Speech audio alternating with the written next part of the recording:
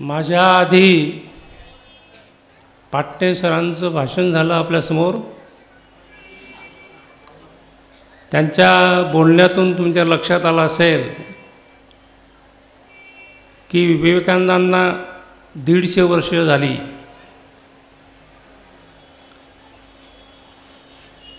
आणि एकोणचाळीसाव्या वर्षी ते या जगातून निघून गेले. आणि म्हणून ते तरुण होते. म्हणून विवेकानंद हे तरुणांचे होते. विवेकानंद हे तरुण होते.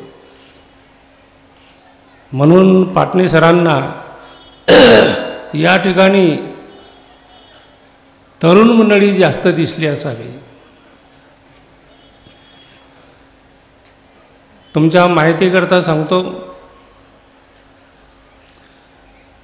स्वामी विवेकानंद यांना जीवनाईल डायबिटीज होता. म्हणजे लहानपणापासून होणारा डायबिटीज असणारा. आणि तो काळ असा होता की हे औषधी शास्त्र एवढं मोठं प्रगत झालेलं नव्हतं. त्यावेळेस साध्या मधुमेहावरच्या ॲलोपॅथीच्या गोळ्यासुद्धा नव्हत्या. इन्सुलिन तर दूरच राहावं. पण आयुर्वेदिक काही असे काही जुने उपाय होते ते उपाय करून कसे बसे ते एकोणचाळीस वर्षी राहिले. तिकडच्या पेपरामध्ये पाटणे सर ज्या भागामध्ये राहतात त्या भागामध्ये पेपरमध्ये आलं का मला माहीत नाही. परंतु त्यांना एकतीस बिमाऱ्या होत्या. एवढ्या बिमाऱ्या सांभाळून संपूर्ण भारताचा प्रवास करत परदेशामध्ये नावलौकिक मिळवला आणि नंतर आपल्या देशामध्ये आले त्यांना मधुमेही माणसांना काय काय होऊ शकतं याची मी तुम्हाला कल्पना देतो. मधुमेह ज्यांना झाला असेल तर पहिला अटॅक डोळ्यावर होतो. म्हणजे डोळ्यामध्ये मोतीबिंदू होतो. त्यांना पित्ताशयाचे खडे होते. मूत्र मूत मूत्रपिंडामध्ये खडे होते. लिव्हर वाढलेलं होतं. मलेरियाचा त्रास अधूनमधून व्हायचा. आणि दोन अटॅक आले होते हृदयाचे. आणि तिसरा जो अटॅक आला त्याच्यामध्ये ते समाधिस्थ झाले. मधुमेही माणसांना येणारा अटॅक म्हणजे त्रासदायक नसतो. आणि इतका सहज मरतो तो माणूस की लोकांना असं वाटतं की तो समाधीतच गेला. तर आमच्या मेडिकल शास्त्राच्या दृष्टीने जर विचार केला की जुहनाईल जर डायबिटीज असेल आणि तो माणूस जर अशिक्षित असेल तर त्याचं ते गांभीर्य एकतर त्या पेशंटला कळत नाही. आणि ज्या डॉक्टरजवळ तो उपचार घेतो तो त्याच्या परीनं जे काही प्रयत्न करायचे तो करतोच म्हणा पण हा त्या दृष्टीनं तसा वागेलच किंवा करेल असं नाही. तर म्हणून जीवनाईल डायबिटीजवाले पेशंट जे आहेत ज्यांची आर्थिक परिस्थिती खराब आहे ते इन्सुलिनचा खर्च पेलू शकत नाहीत तर ते पंचवीस किंवा तीस वर्षामध्ये मरून जातात असा आमचा अनुभव आहे. तर ही इन्सुलिन देण्याची त्या काळात व्यवस्था नव्हती. ॲलोपॅथीचे प्रभावी औषधं नव्हते. तरी एकोणचाळीस वर्षापर्यंत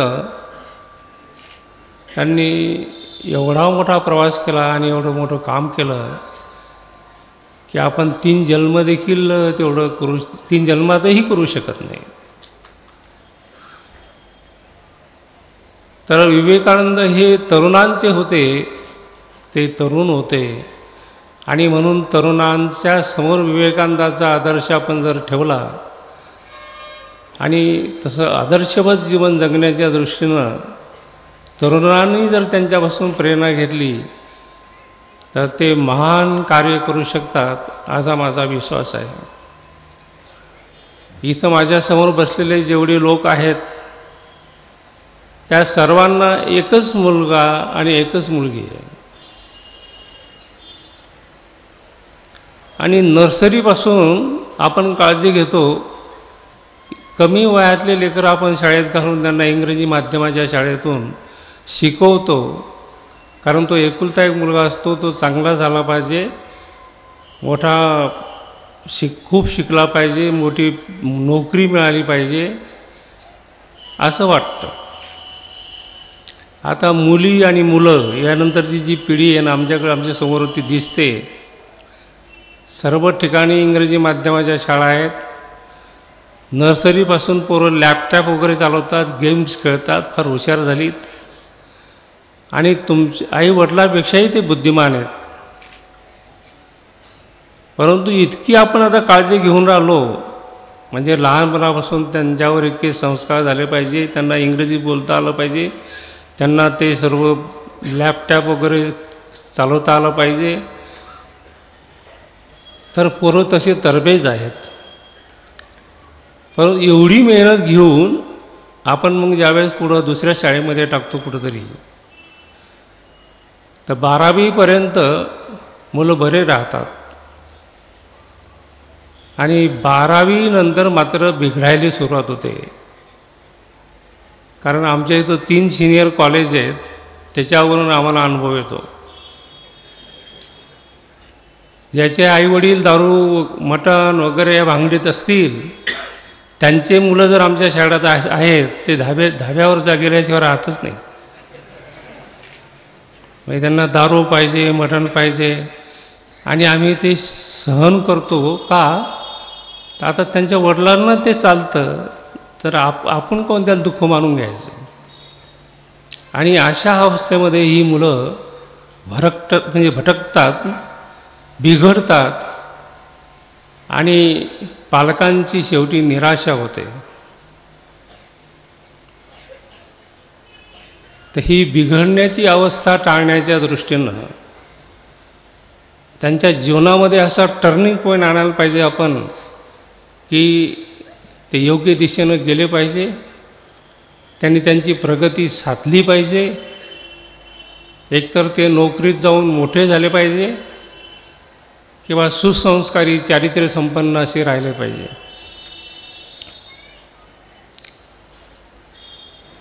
अलीकडच्या काळामध्ये मागचा एक काळ असा होता शेतकऱ्याच्या आत्महत्या जर सुरू झाल्या तर पेपरवाल्यांनी आणि मीडियावाल्यांनी एवढं उचलून धरलं की दररोज पेपरमध्ये शेतकऱ्याच्या आत्महत्याच येत होत्या. एक दिल्लीतली कोणती तरी घटना घडली त्या दिवसापासून तर अजूनही सामूहिक बलात्काराच्या ज्या काही घटना आपल्याला ऐकू येतात आता पेपर वाचू वाटत नाही. का रोज रोज तेच आहे रिपिटिशन म्हणजे स्थळाचं आणि वेळेचं फक्त सोडलं घटना तीच. तर मी असं म्हणेल की विवेकानंद म्हणाले होते की तुम्ही अमृताचे पुत्र आहात. पण मी असं म्हणेल की तुम्ही कुत्र्याची आवलाद आहात.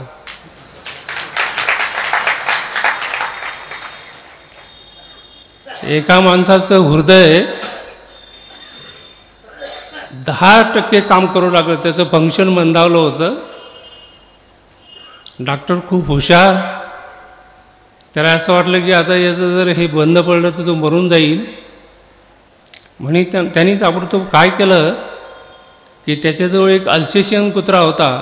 की ताबडतोब त्याचं हृदय काढलं आणि त्या माणसाच्या हृदय तिथं बसून दिलं. तो माणूस जिवंत राहिला. चालताना धाप लागत नव्हती कोणत्याच प्रकारचा त्रास नव्हता.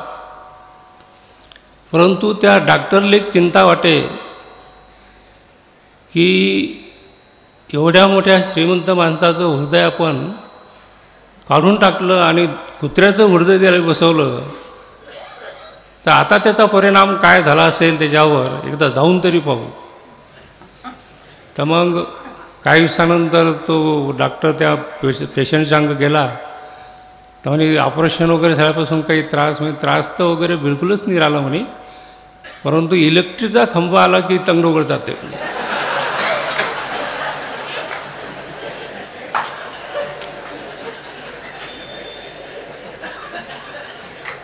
तसं हे हे असं जे काही वाटून राहिलं जे प्रत्येकाला आहे, सामूहिक बलात्काराची कल्पना म्हणजे ते कुत्र्याचं तुम्ही उदाहरण समोर आणा. तर यांच्यातलं आपलं जे हृदय असतं ना त्या हृदयाला असतात चार कप्पे. एक कप्पा असतो पशूचा दुसरा असतो मानवाचा माणसाचा तिसरा असतो दानवाचा आणि चौथा असतो देवाचा. तर तुमच्या आतल्या कोणत्या कप्प्याचा जास्त विकास झाला त्याच्यावर तुमचं वर बाहेरचं जे वागणं आहे ते दिसतं. म्हणजे आकार जरी माणसाचा असेल आणि वागणं जर पशुसारखं असेल तर तो माणूसच नाही आहे आणि आम्ही इकडं लोकांना कीर्तनातून वगैरे सांगतो माझ्याही मी बोलण्यातून सांगतो की जे जे भेटे भूत ते ते माने भगवंत. आता हे भगवंत मानत असताना अशी अडचण होऊन राहिली की आमचा भगवंत दारू कसा पिईल? आमचा भगवंत मटण कसा खाईल? आमचा भगवंत व्यभिचार करणार नाही आणि आम्हाला तर देव मानायचं तुम्हाला. आणि देव जर असे मोकाटपणा करायला लागले तर कसं व्हा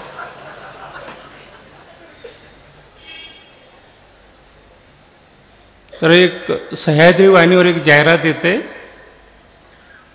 कुपोषणाबाबत. की ते कुंभाराचं पोरगं ते मडकं तयार करतं आणि त्याचा बाप त्याच्याजवळ येतो. ते मडकं थोडंसं असं चपलेलं असतं. तर तो मुलाला म्हणतो की हे जरा बरोबर करून दे.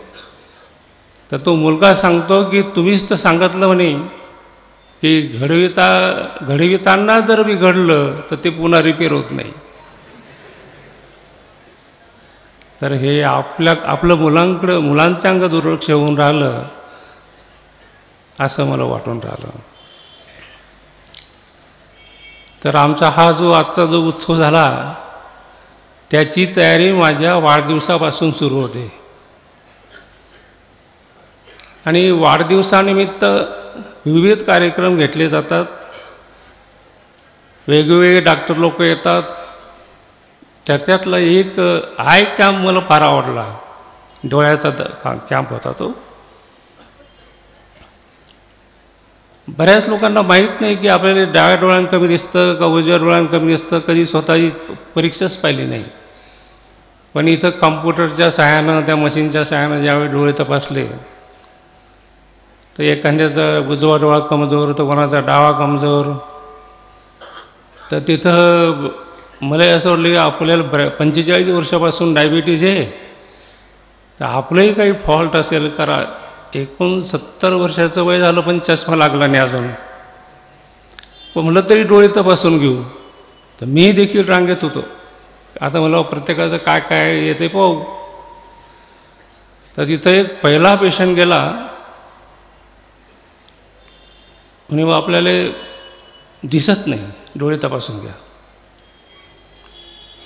तर डॉक्टरनं तपासलं तर हे लाइट दिसतो का? ते दिसतं का? असं दिसतं का? तर तो म्हणे मला काहीच दिसत नाही. तो भीत भीत आंधळा होता. म्हणजे त्याला बिलकुल काहीच दिसत नव्हतं. तर डॉक्टरनं सांगितलं की तुमच्याकरता चष्मा नाही तुमच्याकरता ऑपरेशन नाही तुमच्याकरता काहीच उपाय नाही. बाजूला सरका तुम्ही. दुसरा पेशंट गेला तिथं. मग डॉक्टरनं विचारलं त्याला की तुम्हाला काय त्रास आहे? म्हणजे डॉक्टर आपल्याला वाचता येत नाही म्हणे हो. मग डॉक्टरनं डोळे तपासले डोळे लगेच ताबडतोब वाचता येईल म्हणे. आणि एक चष्मा देऊन टाकला त्याला फुकट. इथं पु चष्मे द्यायची व्यवस्था होती. त्या लावल्यानंतर ते दिलं वाचायला. तर ते म्हणे वाचता येत नाही म्हणे मला. तर मग डॉक्टरने विचारलं का वाचता येत नाही? म्हणे मी शिकेलच नाही म्हणे.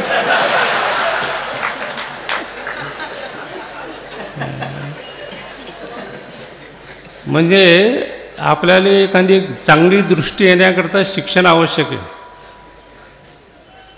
निखळ आंधळा माणूस त्याच्याकरता उपाय नाही. शिक्षण असल्याशिवाय तुम्हाला वाचता येणार नाही. चष्मा कोणता लावा तुम्ही? आणि नंतर एक पेशंट माझे देखतच पुढं सरकला. त्याने डॉक्टरजवळ तक्रार केली की मला रंग आंधळेपणा आहे. म्हणजे जे स- सात रंग असतात ना त्यातला एक रंग दिसत नाही म्हणे. मग डॉक्टरनं सांगितलं की याच्याकरता काही उपाय नाही म्हणे असे पुष्कळ लोक असतात ना कोणाला पिवळा दिसत नाही कोणाला लाल दिसत नाही. असे रंग आंधळेपणा असणारे लोक पुष्कळ मी जगामध्ये. मग पुन्हा एक पेशंट पुढे सरकला. तर डॉक्टरनं सांगितलं की तुमच्या दोन्ही डोळ्यामध्ये मोतीबिंदू झालेला आहे आणि मी अशी व्यवस्था करून ठेवली होती की ज्यांना मोतीबिंदू असेल तुम्ही तुमच्या दवाखान्यात त्याचं फुकट काम करा. तर तो बाजूला निघून गेला. मग मी पुढं सरकलो. तर डॉक्टर म्हणाले बाबा तुम्हाला काय त्रास आहे? तुम्हाला मला भेद आंधळेपणा आहे. भेद आंधळेपणा. तर म्हणे याच्याकरताही चष्मा नाही ना औषध नाही म्हणे. हा काही लोकांमध्येच असतो म्हणे भेद आंधळेपणा. आम्ही पहिल्यांदाच ऐकलं म्हणे. म्हणजे हा रोग असा आहे की याच्यामध्ये माझ्या दृष्टीमध्ये हा जो फरक पडलेला आहे याच्यामध्ये मला गरीब दिसत नाही श्रीमंत दिसत नाही. कोण कोण्या जातीचा आहे हे कळत नाही. कोण कोण्या धर्माचा आहे हे जाणवत नाही. सर्व समान. आणि त्याचं उदाहरण जर द्यायचं असेल तर आमच्या बालाजी मंदिरावर बंजारी समाजाचा माणूस पुजारी आहे. जाऊन पहा तुम्ही कधी जाऊन पहा. अलीकडच्या महादेवाच्या मंदिरावर आदिवासी समाजाचा पुजारी आहे. आणि त्याच्यापेक्षाही सांगतो मी की आमच्या स्वयंपाकघरामध्ये पंचवीस वर्षापासून दोन मुस्लिम पुरी तळायचं काम करतात. ते कोणाला अजून दिसले नाही पण निष्ठेनं श्रद्धेनं आणि ते काम करतात. तर हे आम्हाला असे भेद कोणतेच जाणवत नाहीत. मग ज्यालाही ते मोतीबिंदू सांगितला होता ना त्या माणसाची मागच्या आठवड्यात भेट झाली. म्हणे ऑपरेशन करून आलो म्हणे मी. म्हणलं मग कसं काय दिसतंय? म्हणे इतकं नितळ दिसतंय म्हणे काय सांगा? पहिल्यांदा फक्त सावल्या दिसायच्या म्हणे. की बाई गेली माणूस गेला बाई गेली माणूस गेला. पण आता इतकं नितळ दिसतंय की म्हातारी एक तरुण कळते म्हणे.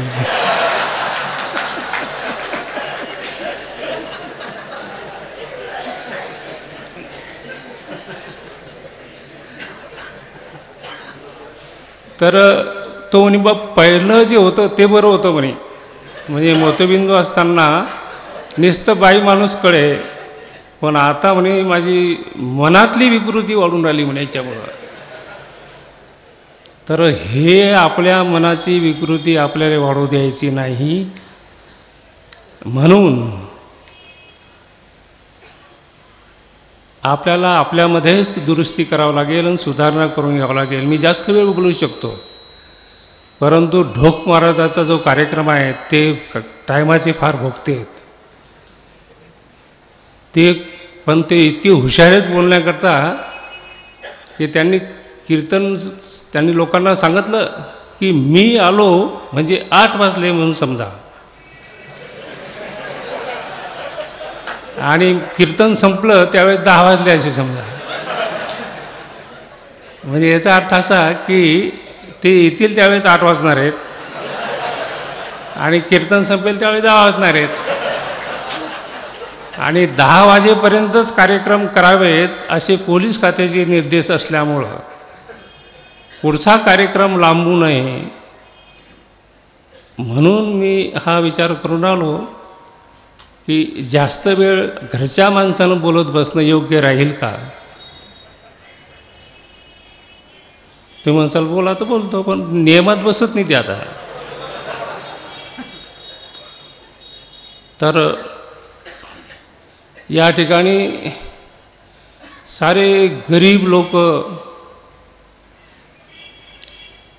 जातीपातीचा इथे विचार नाही आहे मागासवर्गीय लोकांनी देखील इथं मदत केलेली आहे आपल्या कार्यक्रमामध्ये. ज्याच्या घरी कमावून खावं लागतं अशा लोकांनी देखील मदत केलेली आहे. श्रीमंत लोक तर मदत करतातच. परंतु सर्वांच्या सहभागातून हा आजचा कार्यक्रम पार पडला. हा कार्यक्रम तुमचा होता. आणि तुम्हीच चांगल्यापैकी शांततेनं पार पाडून घेतला एवढंच बोलून मी माझं बोलणं संपवतो.